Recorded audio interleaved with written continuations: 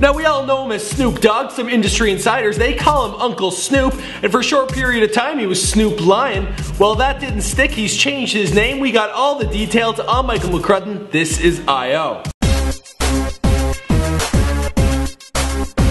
I still remember the good old days of Snoop Doggy Dogg, oh dog.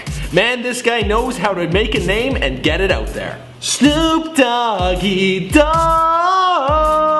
Now Snoop Dogg was born Calvin Broadus. He got the name Snoop Dogg when his mother jokingly referred to him as the Peanuts character Snoopy, and from there it stuck, Snoop Dogg was born. Well, he had already been born, it just like got a new name. Well, Snoop Dogg now has a new funk persona and a collaboration going on with Dâm-Funk, and for that he decided he needed a new name, that being Snoopzilla. The partnership will call themselves 7 Days of Funk and will release an album under the same name. They've already got a track out called Fading Away, and it's really, really good. Snoopzilla had this to say about Dâm-Funk.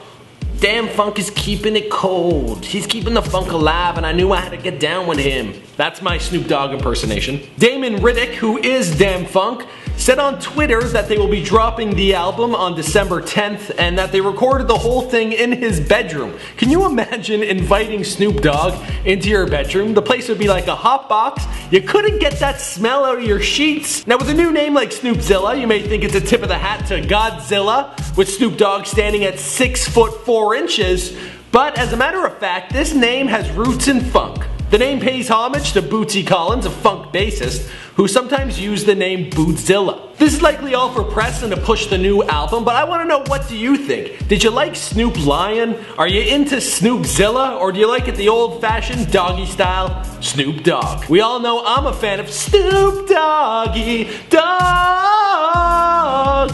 But I want to know what you like in the comments below.